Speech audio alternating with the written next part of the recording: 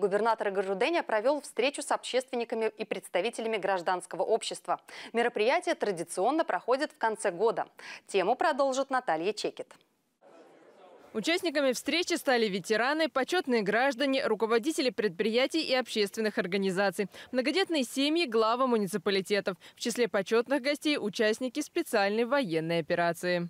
Живем жизнь Тверской области, мы читаем газеты, наши тверские, тверские ведомости, все у нас как бы распределяются они.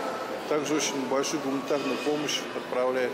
Вот у нас сейчас 10 э, камикадзе первых вот нам отправляет э, с очками, со всем, которые важно, необходимы. В уходящем году благодаря президентским программам в Тверской области зафиксирован рост производства продукции как в промышленности, так и в сельском хозяйстве. Отметил в своем выступлении губернатор Игорь Руденя. Наибольший рост продемонстрировали высокотехнологичные отрасли, такие как производство компьютеров, электротехники и транспортное машиностроение. По динамике инвестиций наш регион вошел на самый пьедестал Центрального федерального округа, но очень важно этот пьедестал нам удержать хотя бы в ближайшие пять лет. Я уверен, что нам по плечу сохранить свое место в, как мы планировали, в тройке лидеров по динамике развития федеральном округе. Причем новые предприятия создают как отечественные, так и зарубежные инвесторы. Регион развивает сотрудничество с Китайской Народной Республикой, с Турецкой Республикой и другими странами. В регионе продолжается развитие социальной инфраструктуры. Проекты затронули практически все муниципалитеты. Так, в этом году в регионе открыли две новых поликлиники в Кимрах и одну в Старице, два детских сада в Вышнем Волочке и Твери, образовательный центр в селе Тургиново, спортивный центр в Твери, 33 фельдшерско-акушерских пункта и врачебные амбулатории. Отремонтировано 680 километров дорог, построено 270 километров газопроводов, благоустроено 94 общественные территории территории.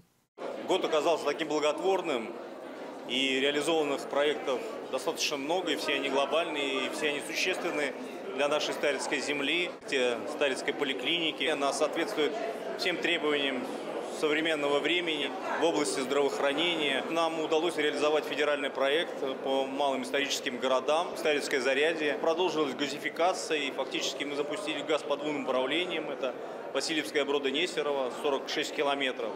И направление на Луковника, 21 километров газопроводов был сдан.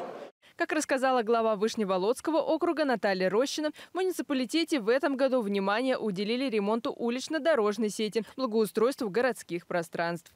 Закончили проект «Малые города. Исторические поселения».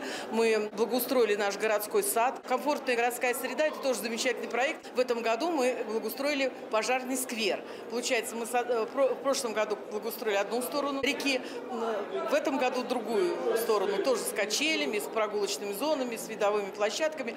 На протяжении нескольких лет в регионе идет работа под девизом «Большая семья. Тверская традиция». За последние семь лет количество многодетных семей Верхневолжья увеличилось в полтора раза, почти до 15 тысяч. И сегодня в регионе каждый пятый ребенок растет в многодетной семье. Хотел бы поблагодарить многодетных родителей за их непростой и очень важный труд. Я уверен, что в наступающем году вашему примеру последуют многие семьи Верхневолжья.